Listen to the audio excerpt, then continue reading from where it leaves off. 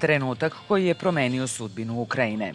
Krajem novembra 2013. godine tadašnji predsednik Viktor Januković je pod pritiskom Rusije odustao od potpisivanja sporazuma o pridruživanju s Evropskom unijom. Hiljade demonstranata je napunilo trg Majdan u centru Kijeva noseći zastave i boje Evropske unije. Među njima je bio i Dmitro Rizničenko.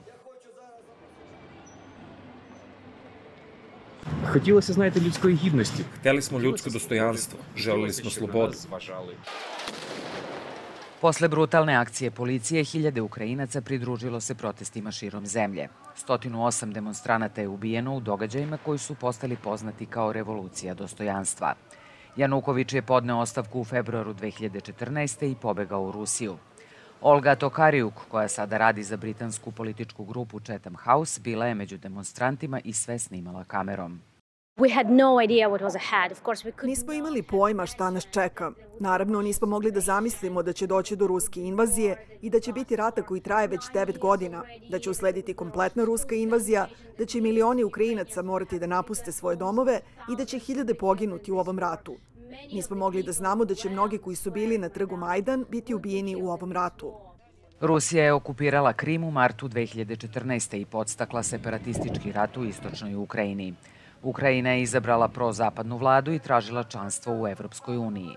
Međutim, Brisel je procenio da Ukrajina nije spremna, a to se pokazalo sudbonosnim, kaže Tokarijuk. ultimately that's Na kraju krajeva, to je podstaklo Rusiju da napadne Ukrajinu u najvećoj meri, jer je Ukrajina ostavljena u vakumu. Ostala je u međuprostoru kao tampon zona. Ukrajina je sada u potpunom ratu protiv Rusije. Više od 10.000 civila je ubijeno od početka invazije Moskve u februaru 2022. Sledećeg meseca evropski lideri sastaju se da odluče da li da započnu formalne pregovore o pridruživanju Ukrajine Evropskoj uniji. Obeležavajući desetugodišnjicu protesta, predsednik Ukrajine je rekao da je članstvo u Uniji sudbina njegove zemlje. 20 років тому була романтична Pre мрія. 20 godina to je bio romantičan san, pre 10 godina to je bio ambiciozan cilj, a danas je to realnost u kojoj više nije moguće zaustaviti naš napredak. Predsednik Evropskog saveta je izrazio podršku. I intend to do everything Namera mi je da učinim sve da ubedim svojih 27 kolega da nam je potrebna pozitivna odluka u decembru. Od vitalnog je značaja da Evropska unija u Ukrajini pruži nadu za budućnost, kaže Tokarijuk.